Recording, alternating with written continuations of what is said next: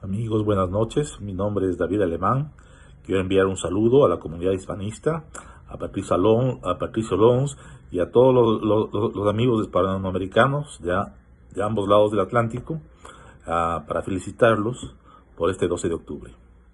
Quisiera uh, hablar un poco sobre el imperativo moral de los políticos, eh, haciendo primero una comparación sobre lo que es la libertad y lo que es la moralidad. Eh, hace tiempo me topé en las redes con una persona que le parecía bastante bizarro eh, que se hable de libertad y de moralidad al mismo tiempo. Eh, veamos primero por qué el hombre escoge el bien y el mal. Lo hace porque está en libertad de hacerlo. Bueno, para los creyentes, el hombre es hecho a imagen y semejanza de Dios. Y por, y por lo mismo, tienen la libertad de escoger, lo que se llama el libre albedrío. Entonces, eh, justificaciones como que celos, que persecución política, que lawfare, que es un hombre humilde y que Dios lo hizo pecar, el diablo lo hizo pecar. No, no. Tú tienes una responsabilidad y sobre todo si eres político, si estás representando a alguien y si supuestamente eh, buscas el bien común. Entonces, uh, empecemos por ahí.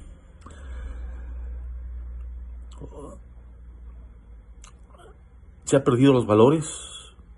Eh, ¿Cuál es el uh, valor de la moral nacional, no? Eh, ¿Tiene la nación una moral nacional? Yo, yo, creo, que, creo que sí Pertenecemos a un, a un pueblo que abarca varias naciones. El pueblo hispánico no es, no, no es lo que nos han enseñado, no del Estado-nación, no, no es que el, pueblo ecuatoriano, el pueblo peruano, el pueblo, colombiano, el pueblo español, no. Es del pueblo hispano, hispanoamericano. Y, y, tiene por detrás eh, eh, la filosofía griega, el derecho romano y, eh, y la cristiandad. Entonces, empecemos por ahí. Hablemos de nuestras élites, eh, nuestras élites políticas, religiosas, culturales, lo que se llama la inteligencia, inteligencia con T y S, la inteligencia. Eh, ¿Desconocen el pasado? Sí, desconocen el pasado. No lo han estudiado. No, no han captado el alma y el espíritu eh, de los pueblos hispanos. No lo han captado. Tengo un texto de hace algún tiempo y, tengo algunas preguntas que, que las quisiera, eh, quisiera formular. ¿Cuántos de estos políticos no han apelado al regionalismo y al separatismo? ¿A cuál le ha interesado realmente robustizar la unidad nacional? ¿Cuántos han trabajado denodadamente por el bienestar del país y no de sus arnados y cognados? ¿Qué hay de sus instituciones? ¿Acaso no las han roto a jirones? Cuando han podido.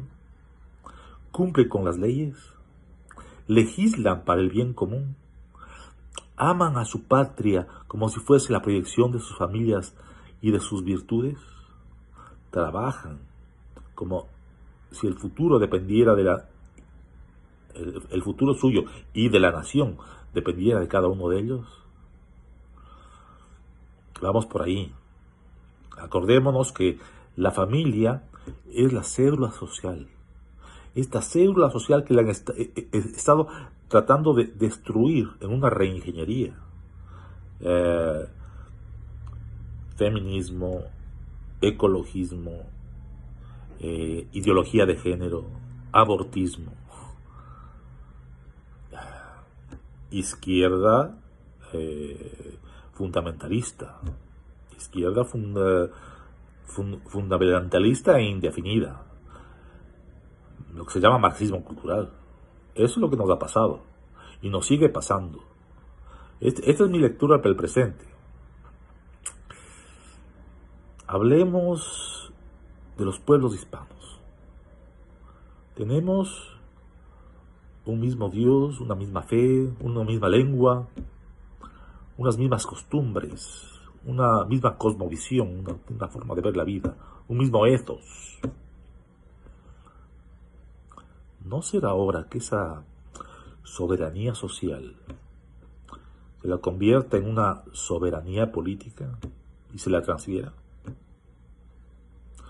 Tenemos que...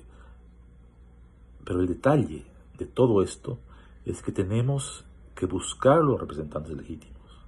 Y ahí está el detalle, como decía Mario Moreno Cantinflas. Ahí está el detalle. Un abrazo a todos. Les, queremos mucho y eh, que viva la hispanidad.